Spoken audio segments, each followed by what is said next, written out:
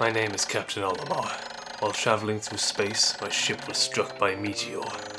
I must have blacked out, and I awoke on the surface of a weird planet.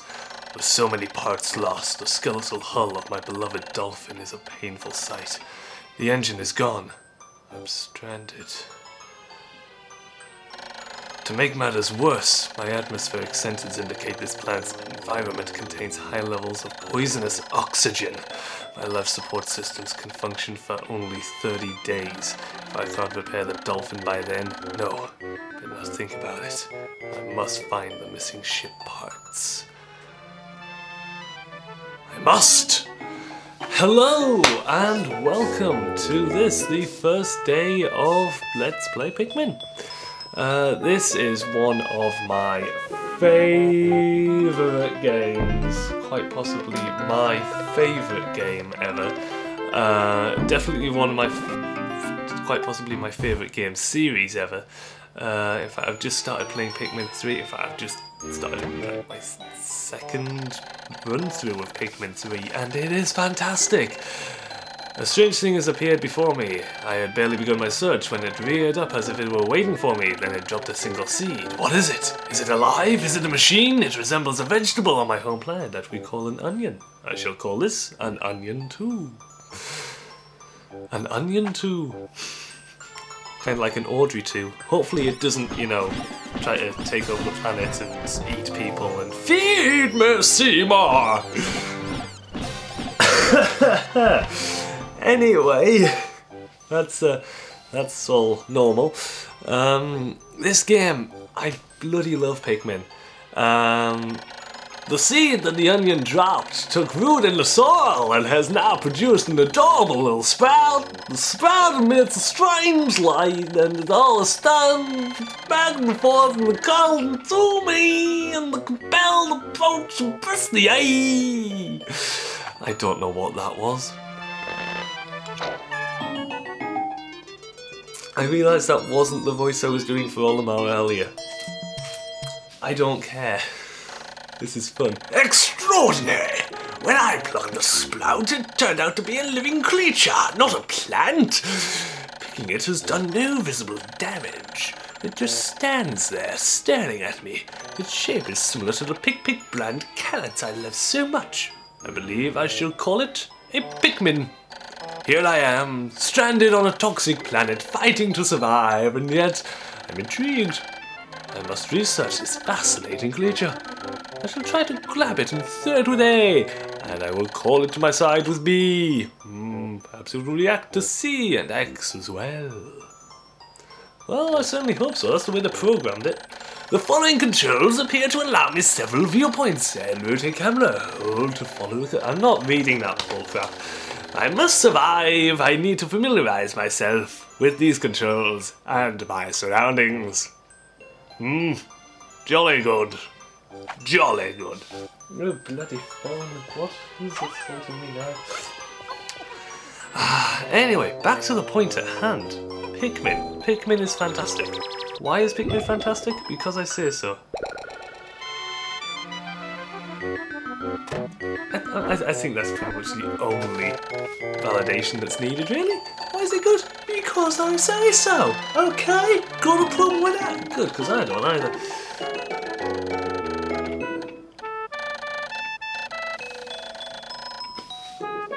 Hmm. I, I- I can't be bothered to actually read that. I should say that I am doing all of this voiceover in post. Um, so I did deliberately leave a lot of these text blocks up for me to actually read out in voices dramatically, but I really can't be bothered anymore. Um, but yeah, this is this just brings back so many beautiful memories. Uh, the only nasty memory, obviously, being the Emperor Bulblax, which I found an absolute nightmare as a child, and will no doubt find an absolute nightmare to defeat and fight against yet again. Um, but that being said, this is a brilliant game. I think, um, as bad of it, as bad of me to say as it might be, I should say. Um, this may be better than Pikmin 2. I, I certainly love Pikmin 3. Pikmin 3 is amazing. Its utilization of the Wii U gamepad. Oh man, everything. It's it's just such a nice game. It flows very nicely. Um, I should stop talking about Pikmin 3 though.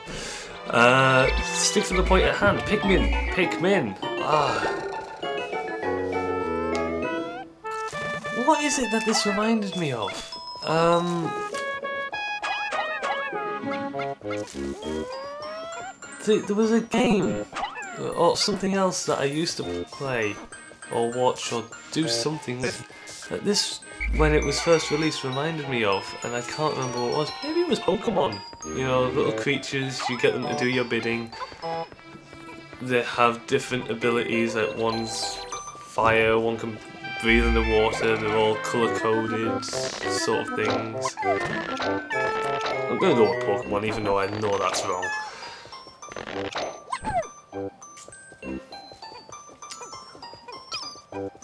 Another amazing thing was the personality as well that the Pikmin had. Uh, they were they weren't just little things that followed you around. They actually have leaves in front of the screen. Um, they actually have personality, which is nice. You leave them idle and they start sort of yawning and stretching and just lazing around. I mean, they could have just had them standing still at attention, but no, idle animations. I I go on about this quite a lot. I feel, but idle animations make things so much better. I think one of my favourites has to be in um, either Sonic the Hedgehog, where he just sort of he gets bored and he starts just lying there. Sonic CD is fantastic, where he sort of well, after a while, he just sort of jumps off the platform and essentially commits suicide, uh, which is always fun. Yay. Um, Aladdin. That's another favourite of mine. Um, the 16 bit Aladdin, he just sort of stands there. Mega Drive is my preference. I never had an SNES as a kid. Um, but yeah, he'd stand there, he'd start rolling apples down his shoulders and stuff like that. It was kind of cool. Anyway, back to Pikmin. I love this game so much, I don't have anything to say about it. Now, obviously, this is going to be the shortest video of the Pikmin series because as soon as I collect that engine there, uh, the day is basically over. So, all I'm going to do is try and build up the Pikmin stock as much as possible. And yeah, I would love it if this was something that could be done as one of those glitchy, hacky speedrun things, but that's not gonna happen. Because I'm not that good at manipulating the system. Uh, there's the engine. Isn't it amazingly lucky of him to find the engine right next to where he crashed? I mean, he could have been fucking doomed, really. Amazing! There's no mistaking it! My ship's engine rests before my very eyes! By a stroke of pure luck, I have already stumbled upon the most important piece of my damaged craft. Fate has smiled upon me. And I like it. So yeah. Get all those Pikmin, back to the thing. You need 20 to carry it anyway, so it's not like you can sort of collect it and leave all those pellets just lying there. Which is nice, right? So, what you want, but this is a really well structured game. I mean, it's quite simple sort of integrated tutorial as well. It's not one of those tutorial systems, Donkey Kong 64, uh, which forces you to do a few menial tasks to teach you things, um, and then lets you play. This is you playing with the tutorial included, which I like. I like being able to play, get taught things as I'm going through. In fact, this entire game is basically a learning experience.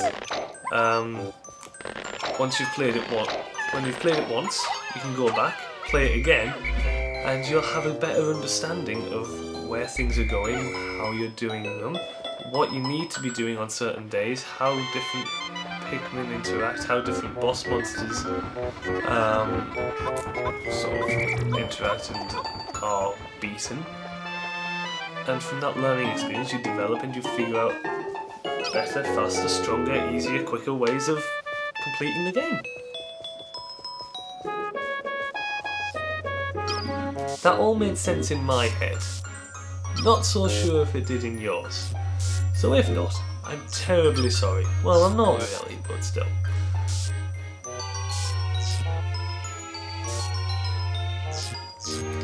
And now the arduous wait for the Pikmin to carry back the mighty treasure. if only, if only the woodpecker sighs, the bark on the trees were as soft as the skies.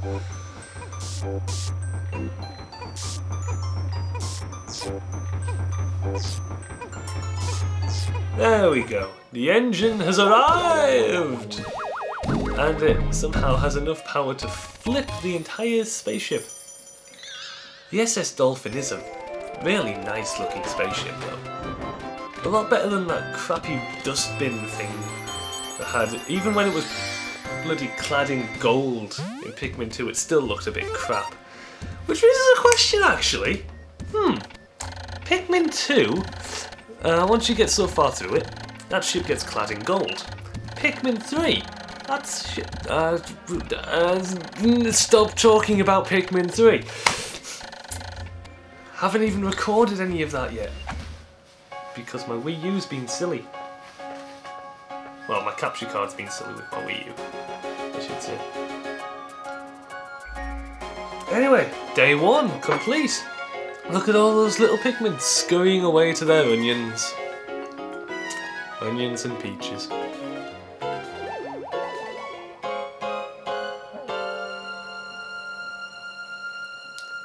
Did Koji Kondo conduct the music for this? I feel as though he did. Um, he probably did. I, he is a very good composer and I do love his work. Ah, Koji Kondo. Let's have a look see. Let's have a look see! Yep, day one. Things happened and we didn't lose any Pikmin. That'll certainly change by the um, by the end of things.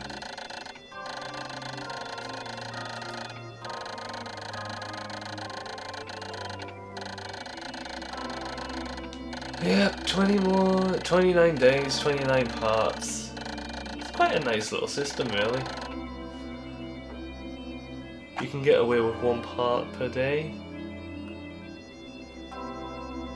Although, in all fairness, when you get to the final trial, you don't want that. Anyway, I'll see you on the next day.